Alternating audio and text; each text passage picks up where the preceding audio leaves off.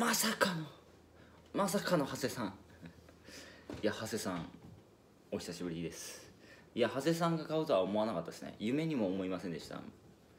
もう長谷さん僕をコンプリートしてますね。ありがとうございます、まあ、今回もいいです。今回もいいです。やっぱね長谷さんは違いますね。最後まで買いましたね。ありがとうございます。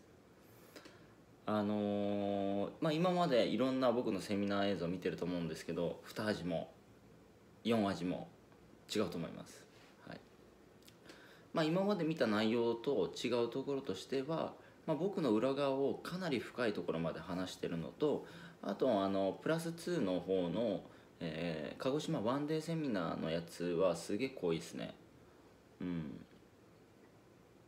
これは多分今まで話してないようなことを話してるんじゃないかなと思います。なぜなら、まあ、その参加してくれた人があやさんとモーリーと決済正樹さんでこの結構中級者の人しかいなかったんでその、まあ、いつもやるセミナーってまあ初心者の方結構参加してそれに対して話してるんで、まあ、その中級者しかいない。その環境下で話してる僕の内容っていうのは今まで多分出てないような話が結構出てるんでうん。あとはちょっと今までと違う映像なんじゃないかなと思います。はい。是非ですね堪能してください。はい。まあ長谷さんにももう言うことはないんですけど まああの見て楽しむのもよしやって稼ぐのもよしあとは長谷さん次第でございますね。はい。